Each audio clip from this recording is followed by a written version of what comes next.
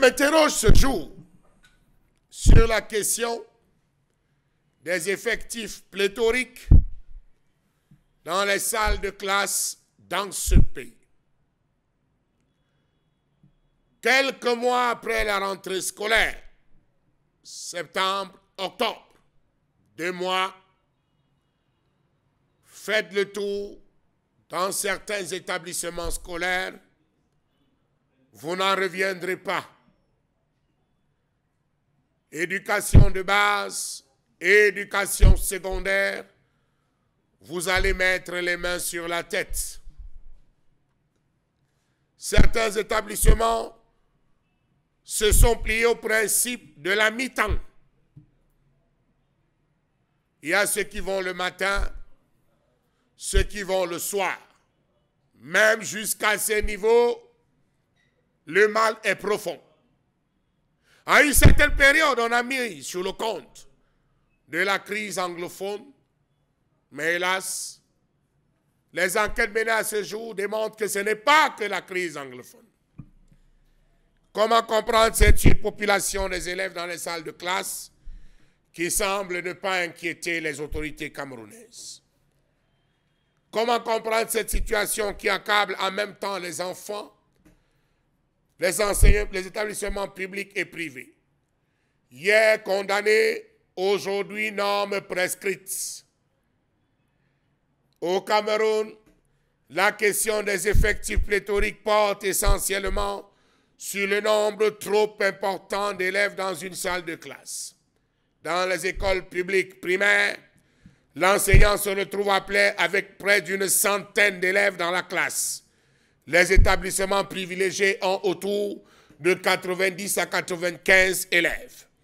Comment comprendre que depuis pratiquement deux ans, le nombre d'élèves dans les salles de classe dépasse largement le quota prescrit par le ministère des Enseignements secondaires et éducation de base sans que les inspecteurs, délégués départementaux et délégués régionaux ne mettent un doigt d'honneur sur la question.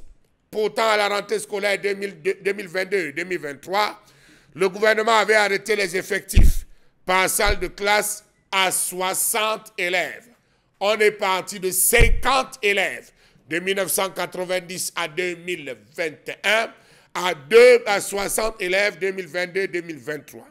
Dans un premier temps, on a accusé les affres de la crise anglophone, sauf qu'en approfondissant les enquêtes, on s'est rendu bien compte que le problème est bien plus ailleurs que dans cette crise. La surpopulation dans les salles de classe a atteint la côte d'alerte et ce sont les établissements de référence qui ont la palme d'or désormais dans les classes les plus peuplées. Comment est-ce que les enseignants pourront dispenser les cours dans une telle ambiance? J'aimerais qu'on revienne sur la première image de cette salle de classe où vous avez 4 et 5 élèves, 5 élèves par banc. Les bancs même ont été agrandis. Je dis bien, sa même image, 4 à 5 élèves par banc. Comment est-ce qu'un élève peut écrire convenablement? Comment peut-il avoir accès à son cartable? Voilà cette image. Comment est-ce qu'un enfant peut avoir accès à son cartable? Comment est-ce qu'un enfant peut rechercher un livre? Comment est-ce que deux ou trois enfants peuvent ouvrir des livres pour pouvoir parcourir tel chapitre parce que demandé par le professeur? Combien d'enfants pourront procéder à une lecture efficiente? Combien d'enfants sur cette table sont assis convenablement? Comment est-ce que les enfants pourront bénéficier d'un réel encadrement de la part de ces enseignants? On a plus de tables banques qu'il en faut, on a plus de rangées qu'il en faut. Dans certains établissements, on n'y a plus de rangées du milieu, on a collé les bancs. On entre d'un seul côté et on en ressort d'un autre. Le nombre pléthore qui a imposé une nouvelle configuration dans les différentes salles de classe les tables bancs qui tutoient l'entrée de certaines classes, les couloirs qui servaient de passerelles sont inexistants et les enseignants, en attendant recevoir davantage du monde, révisent déjà les stratégies implémentées pour canaliser toutes ces énergies, souvent débordantes.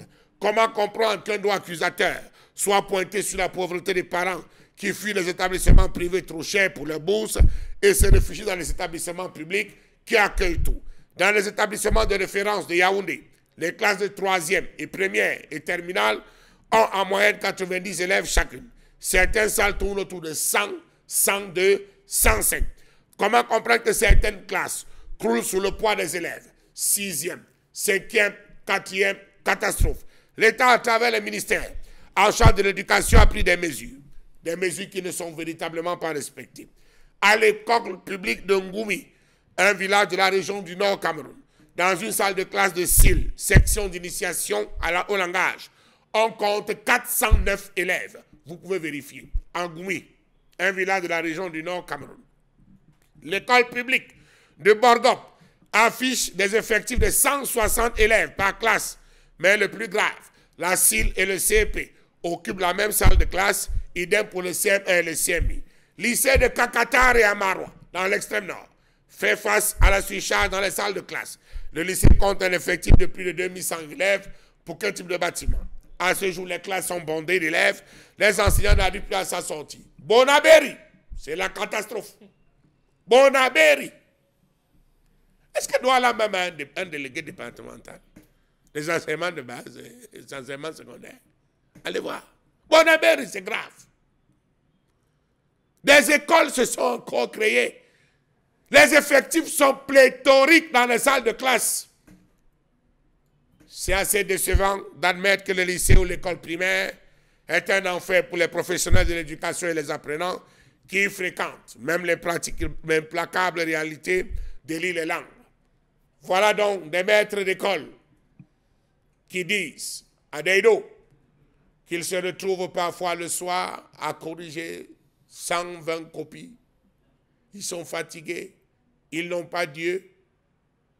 S'ils doivent le faire tout au long de l'année, mon Dieu, ils ne sont pas payés pour cela. Une salle de classe qui a plus de 100 élèves est un étouffoir, est un mouroir. Sans oublier les pressions administratives des patrons, mais aussi des élites religieuses et politiques qui contraignent d'ajouter les élèves sur la liste.